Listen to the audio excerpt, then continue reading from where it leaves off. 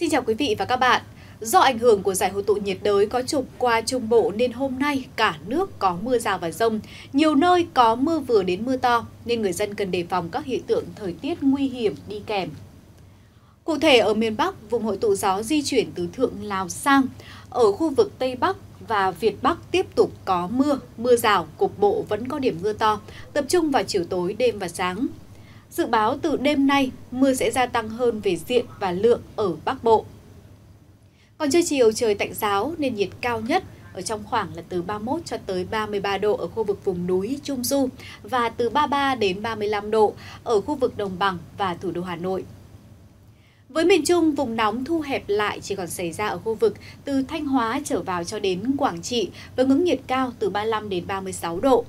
Khu vực từ Thừa Thiên Huế trở vào đến Bình Thuận ngưỡng nhiệt cao 33 đến 35 độ. Khi vào chiều tối nay sẽ có mưa rải rác. Từ ngày mai 15 tháng 7, nắng nóng chấm dứt khi miền Trung bước vào một đợt mưa lớn diện rộng. Sự xuất hiện của giải hội tụ nhiệt đới hút làm cho gió Tây Nam hoạt động mạnh mẽ hơn, khiến cho mưa rông cũng có xu hướng gia tăng ở khu vực Tây Nguyên và Nam Bộ. Mưa có thể xảy ra sớm trong ngày nhưng lượng mưa lớn tập trung vào chiều tối. Người dân cần đề phòng các hiện tượng thời tiết cực đoan có thể đi kèm trong cơn rông. Chuyển sang những thông tin thời tiết biển.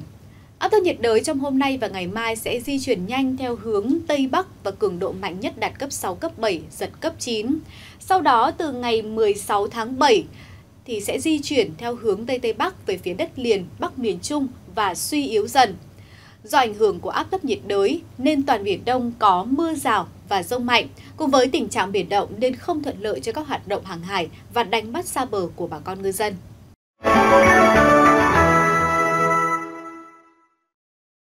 Thủ đô Hà Nội trong ngày Chủ nhật trời tạnh giáo có nắng, mức nhiệt cao nhất vào trưa chiều nay khoảng là 35 độ. Trời oi nóng trong khoảng từ 12 đến 15 giờ. Đến chiều tối duy trì khả năng mưa rông với xác suất mưa trên 60% và từ ngày mai mưa có xu hướng gia tăng hơn về diện và lượng. Đối với thành phố Đà Nẵng, khả năng xuất hiện mưa rào và rông sẽ tăng đáng kể, nhất là chiều và tối nay, xác suất mưa lên trên 75%. Còn trưa chiều trời có nắng gián đoạn với mức nhiệt ngày cao 33 đến 34 độ. Còn tại thành phố Hồ Chí Minh cũng như các tỉnh thành phía Nam, chịu tác động của gió mùa Tây Nam hoạt động với cường độ mạnh nên khả năng có mưa rào và rông đều cao. Mưa có thể xuất hiện bất cứ lúc nào trong ngày, nhưng mà lượng mưa lớn tập trung vào thời điểm cuối ngày. Người dân cần đề phòng các hiện tượng thời tiết nguy hiểm do mưa lớn cục bộ gây ra. Do có mưa nên mức nhiệt cao nhất trong ngày chỉ khoảng là từ 31 đến 32 độ.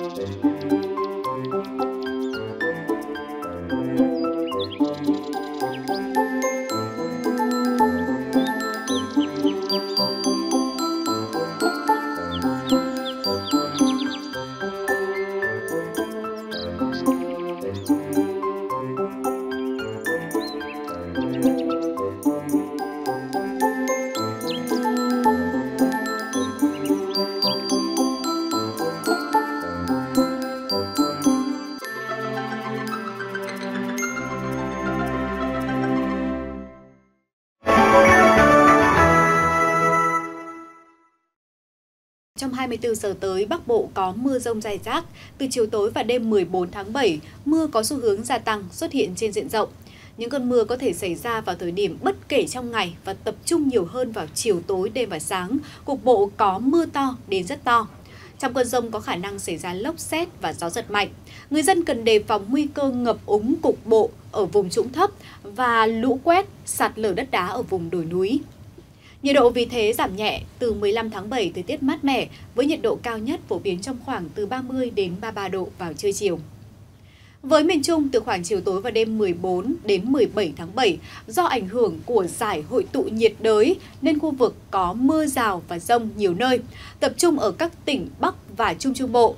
Một số nơi có thể xuất hiện mưa to đến rất to nên tiềm ẩn nguy cơ xảy ra ngập úng cục bộ ở vùng trũng thấp và lũ quét, sạt lở đất ở khu vực vùng núi, từ ngày 15 tháng 7, nhiệt độ trên toàn khu vực tiếp tục giảm thêm và dao động trong khoảng từ 31 đến 34 độ, chấm dứt những ngày nắng nóng kéo dài ở khu vực Trung Bộ. Với phía Nam, khu vực Tây Nguyên và Nam Bộ trong những ngày tới chịu sự chi phối của đới gió Tây Nam có xu hướng hoạt động mạnh dần lên. Tại cả hai khu vực, mưa đều gia tăng về cả diện và lượng. Cục bộ có thể xảy ra mưa to kèm theo rông mạnh. Trong cơn rông cần đề phòng với lốc xét và gió giật mạnh. Thời gian mưa lớn tập trung vào chiều tối và đêm. Chuyển sang những thông tin thời tiết biển, do hoạt động của giải hội tụ nhiệt đới vắt ngang qua Biển Đông, trên giải này có xuất hiện áp thấp nhiệt đới nên thời tiết các vùng biển không được thuận lợi cho các hoạt động hàng hải.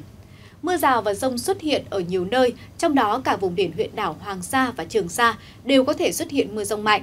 Trong cơn rông có thể xảy ra lốc xoáy và gió giật.